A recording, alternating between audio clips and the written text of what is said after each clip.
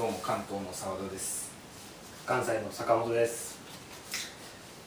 はじめまして。あの僕は今年、はい。函館競馬3回目になるんですけど、はい。まあ、澤田君はね初めてそうですね。函館ということで、まあ、どうですか？函館競馬やっぱり、うん。まあ、函館の街がのんびりしているって、まあ、空気もいいですし、まあ、今のところ、これから始まるならさワクワクワクワクしてますね。あのねスタンドからはね、うん。海も見えますし、はい。すごいこうロケーションのねいい競馬場なんで、はい。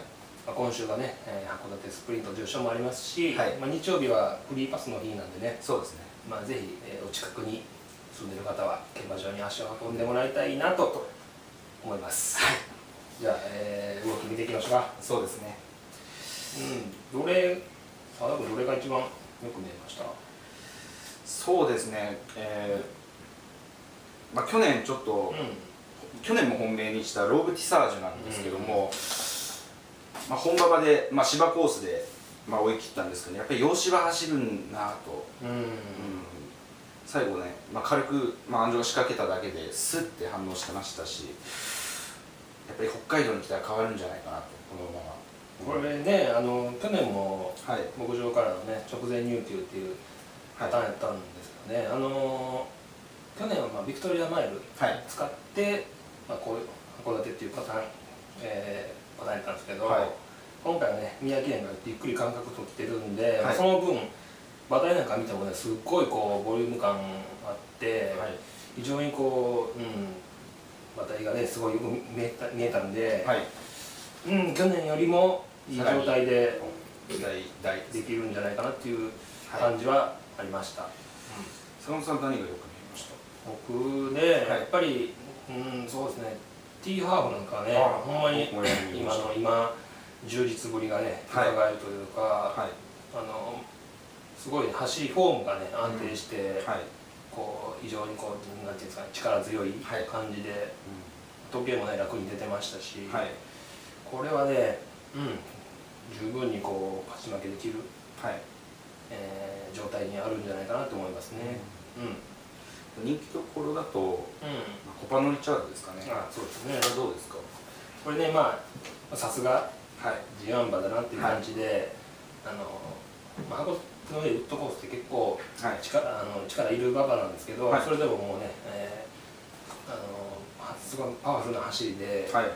まあ、楽に先頭してましたし、はいまあまあ順調に仕上がってるのかな。販路で相当入念に込んできたみたいですね、リッまあまあリットのねハムの時計ではい。馬ですし、トはい。